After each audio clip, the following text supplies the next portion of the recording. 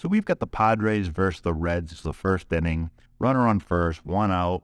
We have a line drive hit the center. Trent Grisham comes in, puts his glove up, fakes the runner out at first as he catches it and doubles the runner off. And you see the little smirk here on Trent Grisham's face as he runs off the field because he knows he got him. So this is a really heads up play. Let's break it down. So here we've got the ball hit the center field. Now, what outfielders will typically do on balls that are going to drop is that they'll put their glove up like this to fake like they're going to catch it.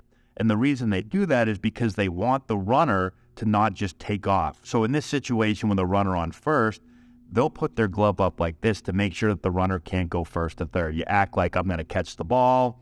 It's just a faker deke the ball is eventually going to fall, and the runner will only be able to make it from first to second instead of from first to third. So on this one, Grisham uses, I don't know if you'd call this reverse psychology. So he puts his glove up, faking that he's going to catch the ball. The base runner says, Oh, no, no, no, Trent. I know you. I know you're just faking me out here.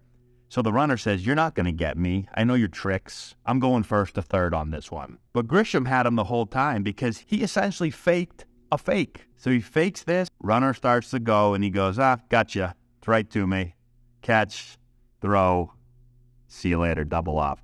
So you don't see the fake fake move very much. And base runners are used to outfielders trying to deke or fake them out because they do it a lot. So to be able to use the fake fake is a really nice touch that again I have not seen before. And I think it really just lulled the base runner to sleep. You're used to reading body language of outfielders as they attack balls. And so he does sell this really well that this ball is just going to drop in and I'm just giving the old fake job that I usually do. But again, ran the perfection. So I like it. Heads up play. Let me know if you've seen this play before. I don't know if I've ever seen it before where the outfielder fakes like he's going to catch it, knowing that the runner's going to know that you're faking. So he's going to go. But the whole time you knew you were going to catch it and throw him out at first base. It's even difficult to explain. Anyways, let me know what you think in the comment section below. Subscribe to the channel, hit the notification bell, give it a thumbs up, all that good stuff, and we'll talk to you later.